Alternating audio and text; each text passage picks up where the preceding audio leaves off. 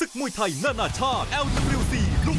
พินี World Championship Super Champ เสาร์ที่ 15 เมษายน เวลา 6 โมงเย็นเป็นต้นไป พร้อมเปิดศึกความมันดุเดือดต้อนรับวันสงกรานต์นำโดยคุณเข่าเมืองช้าง รุ่งรัตพุ่มพันม่วง จากสุรินทร์พบกับจอมศอกแซมบ้า ลุยส์คาใจบาจากบราซิล นุ่มพังงาอีเกอร์มวยไทย มวยใต้สายบวกดวลกับโบชอ จอมศอกขมังเวทจากกัมพูชา เจริญพรสิทธิ์หลวงพี่น้ำฝนจอมฝีมือแข้งหนักปะทะพาซาปัวเปอร์เซียมัดสั่งจากอิหร่านมวยแกร่งแข้งหด เด่นพนมผ่าน 26ดวลกับเพชรกันทัดเอ็มยูเดน มวยฝีมือครบเครื่อง วงในดุดัน พร้อมคู่มวยคุณภาพที่แฟนมวยลุ้นระทึกทุกวินาทีศึกมวยไทยนานาชาติ ลุมพินี World Championship Super Champ วันเสาร์นี้ทางช่อง 8 6โมงเย็นเป็นต้นไป การันตีความเดือดแน่นอน แฟนมวยไทยห้ามพลาด